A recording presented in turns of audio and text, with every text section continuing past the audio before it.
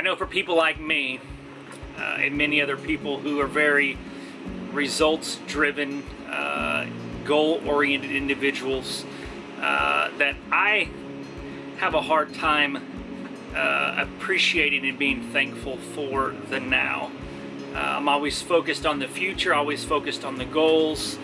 That sometimes by doing so, I forget to appreciate right now and how far I've, I've come, not just uh, business wise or relationships, but really just as a person, as a human being. Um, that I, I forget all that because I'm always looking for that change, always looking for that next thing.